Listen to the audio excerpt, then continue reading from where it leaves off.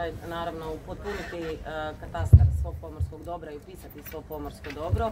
Namiravamo revidirati e, sve postupke ukidanja statusa pomorskog dobra za određene čestice, jer je tu vrlo često bilo i pogodovanja, naravno. ali isto tako revidirati dodjele koncesija i po kojim osnovama su dodjeljivane, te vidjeti koji su koristi od tih koncesija. Naime, mi imamo jako puno koncesije koje država daje na pomorskom dobru, Međutim, kada pogledate prihode države od koncesija, pa rekli bi da, ovaj, da se time baš i ne upravlja dobro, jer su zapravo vrlo niski. E, aha, oprostite da. Dakle,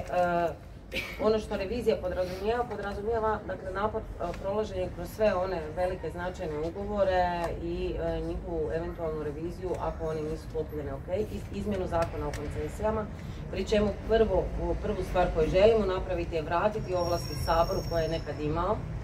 za raskid onih koncesija koje idu suprotno interesu, javnom interesu i javnom dobru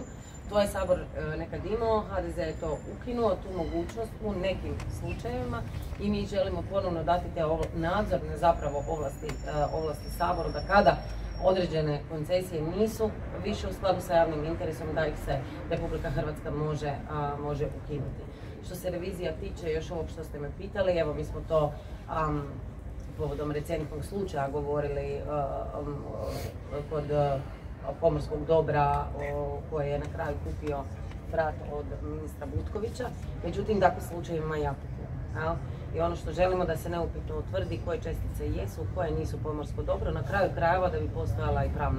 pravna, sigurnost svih aktera, pa i onih, pa i privatnih